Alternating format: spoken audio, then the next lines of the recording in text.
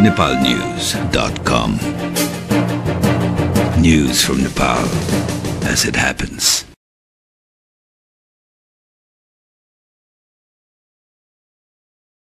निकै लामो समयदेखि नेपालमा बसोबास गर्दै आउनुभएका फादर जेम्स डन्लीको सोमबार बिहान तीन बजे निधन भएको छ उहाँको पार्थिव शरीरलाई अन्तिम श्रद्धाञ्जलीको लागि धोबीघाट स्थित एजम्सन चर्चमा राखिएको थियो र क्रिस्चियन परम्परा अनुसार उहाँको पार्थिव शरीरलाई श्रद्धाञ्जली अर्पण गरिएको छ।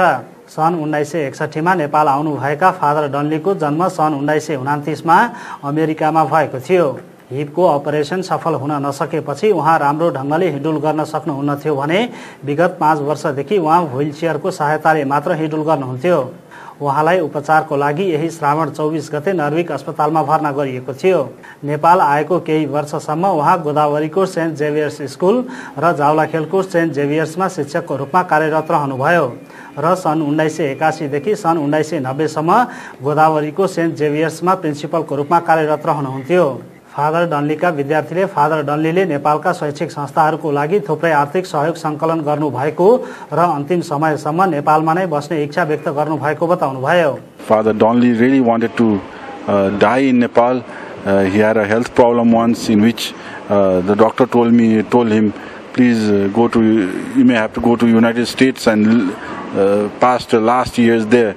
But uh, but uh, his health situation changed, and he was very happy to be able to stay here till the end of his days and uh, uh, be in touch with everyone. And he raised a lot of donations for many um, schools in Nepal, not only in Kathmandu but also in eastern Nepal and uh, other educational institutions. Father Dunley नेपालका हिमालहरूको पारखी रहेको र उहाँको स्मरण शक्ति ज्यादै शक्तिशाली भएको नेपाल जेसुइट सोसाइटीका सदस्य फादर अगस्टाइन थोमस बताउनुहुन्छ अगस्टाइनका अनुसार फादर डनली खेलकुद प्रशिक्षणमा समेत रुचि राख्नुहुन्थ्यो Father James Donnelly had an outstanding memory. So if once he meets a person and he meets the same person after 10 years, he would tell his name and where he met, what ex- exactly they talked about. So he was very well known for his memory. Then he had a passion for the mountains in Nepal. He loved trekking. He went around all over Nepal. So he could ask him to speak on any mountain and he would be ready to give a speech at any moment and a, a scientific speech where he could explain the height and width and, and all details of the mountains. उहाँले उच्च मावि तहको लागि the handbook र the workbook नामक दुईवटा पुस्तक समेत लेख्नु भएको छ उहाँको पार्थिव शरीरलाई अन्त्येष्टिको लागि गोदावरी आश्रममा लगिएको छ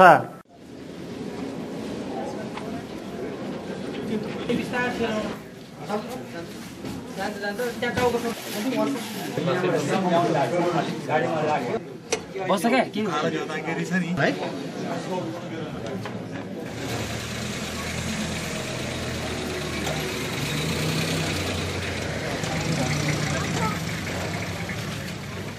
फादर जेम्स डन्लीको निधन र अन्त्येष्टि सम्बन्धी समाचार यति नै.